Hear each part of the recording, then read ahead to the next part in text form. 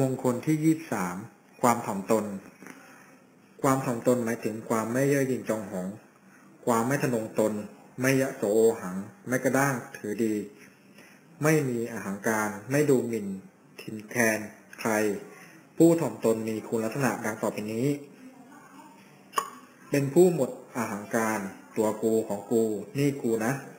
ไม่มีความกระด้างถือดีประเมินตัวเองเป็นเพียงคนเล็กน้อยไร้ค่าดัง หนึ่งผ้าขี้ริ้วสำหรับเช็ดเท้า ไม่มีภัยดังหนึ่งเขาหัก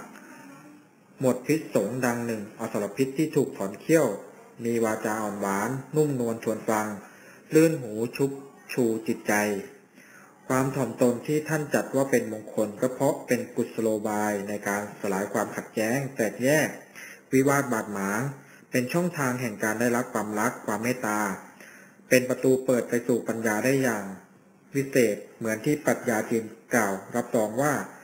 การที่ทะเลคลองตัวเป็นเจ้าแห่งน้ำก็เพราะทะเลนั้นวางตนอยู่ในที่ต่ำน้ำทุกสายจึงไหลมารวมกัน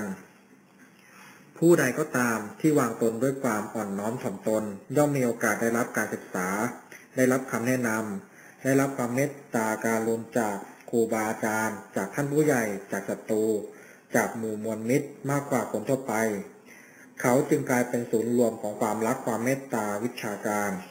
คนถ่อมตนจึงเป็นคนมีเสน่ห์ในตัวเอง เขาอยู่ที่ไหนก็ดึงดูดเอาสิริมงคลเข้าตัวเองได้อย่างอัศจรรย์